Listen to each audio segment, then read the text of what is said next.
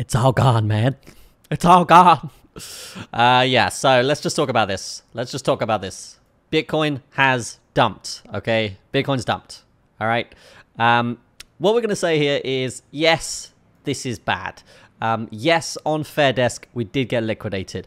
But no, we didn't lose that much money, all right? And what I do want to say about Fairdesk, because it is the copy trading, we had zero assets under management. So what I did there was a high risk uh, expectation that we'd stay above 58k, okay? Uh, not really money that anyone is losing, okay? This was just me going, okay, well, screw it. Let's take a risk. Let's expect this to go up. And if, if it gets liquidated, no one loses any money, right? That's cool. That's fine. All right. So no one lost money. Uh, I lost very, very little amount of money. Okay. And, uh, I did ride this down a little bit as well on a smaller account, uh, so that's fine as well, all right? What we're doing here on the long term has not changed, all right? So what I've said here is we have got this long signal on hash rate, okay? We had the ETF, which is the most successful ETF in history, all right? Uh, we have hash rate looking pretty decent. Okay, we'll see how this uh, reacts today. Uh, this goes a lot lower if miners decide to sell here. All right, I will just say that. This goes a lot lower if miners uh, basically say, hey, let's turn the machines off. It's over. Let's start the bear market. Uh, this will go down. We will get the bearish signal. Uh, and then, uh, yeah, from that point, I think I think we probably end up around mid 40s. Okay, and we're already at 50k. I mean, this thing is just getting obliterated. Uh, what we will say as well is we have just completed the measure move. We are at the daily volume weighted ATR band. This is a huge, huge thing. Okay, usually around the daily volume weighted ATR band, guys, we do get um, bottoms come in. Okay, big bottoms, thick bottoms, all right? Uh, so you can see here, a bit of a pump off of that one. I know it looks tiny, but uh, yeah, you can see 14% off of that one. Looks tiny, right? But 14% uh, on, on the reactions there, okay? And then obviously it's the bump and then smash through. Then once we reclaim it again, what do we have here? 26%, okay? Say something, say something. All right, when's the next time we hit it? Here, okay? so, what do you guys think is going to happen here? obviously, this is a Black Swan event. All right, uh, it's probably better bringing up data from a previous Black Swan rather than um, an obliteration. Um, yeah, this is the, the last Black Swan we had, right? The COVID crash, if you guys remember it. Absolute, disgusting, $8,000 drop uh, all the way down. Uh, not $8,000 drop, but 8000 down to 3000 or 4000 uh, And then what happened here with this daily volume weighted ATR band, guys? Well, once we reclaimed it, we went on a 28% pump, all right? And that's that's just over a few days. What we actually did was a 17x from that point, okay?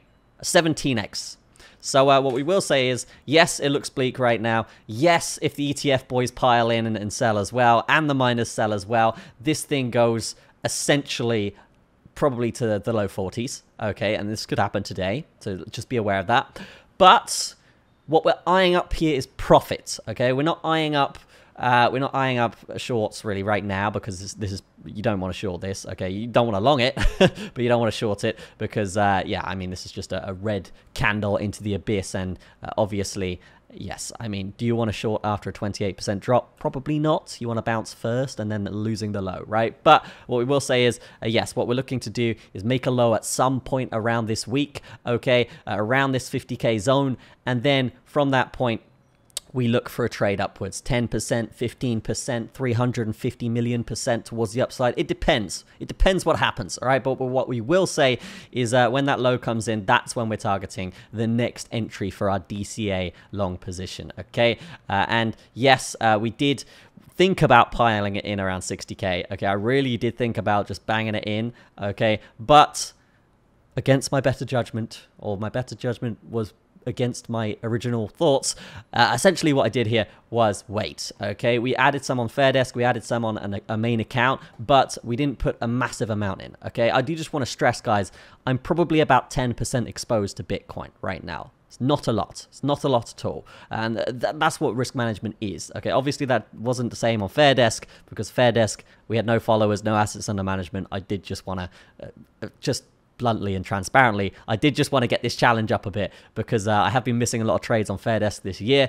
Uh, and yes, I'm going to prioritize my main account. That's where the money is, right? But uh, I did feel a bit guilty in saying, okay, well, uh, I want this challenge to be a bit more further along. So uh, yeah, we did kind of ape in on that one.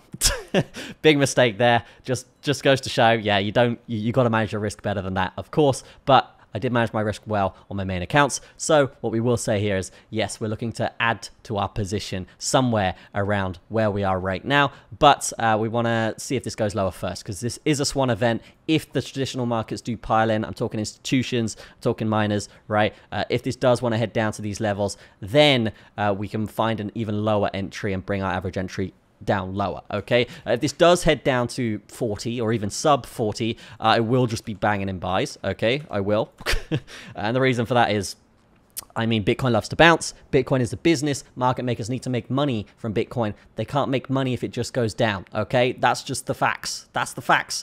All right, uh, and they do control most of the Bitcoin supply. All right, out of everyone anyway. Um, and the market makers are also probably owned by BlackRock. Let's be real. So uh, yes, for this to continue as a business, uh, this needs to go sideways at some point, and that's exactly what I'm going to talk about next. All right, so what we're going to be doing here for Bitcoin, not just Bitcoin but altcoins, when this does hit the low, uh, obviously DCA strategy still in play. We're still looking for a massive bull run. Okay, so yes, we are going to be trying to get our average entry lower, but uh, the sideways market could potentially come very, very soon. And if that is going to be what's happening, then what we're going to be doing is setting up a grid bot in this area because after massive dumps, we get massive volatility. All right, a great example here.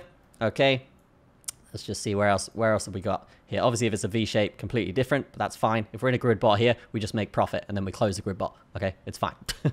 uh, but yeah, after massive dumps, massive volatility. After massive dump, ridiculously volatile. Okay, volatile. So yes, what we're expecting here after this is a massive sideways range or a V-shaped recovery. Okay, uh, this again being the COVID crash, I believe. Yes, um, massive volatility in this area as well, right? This doesn't look like it's super volatile, but that's because we're zoomed out. We do just look at these kind of ranges here, guys, I mean, super volatile, right? Uh, just this 15% range here uh, over a, few a week or two, right?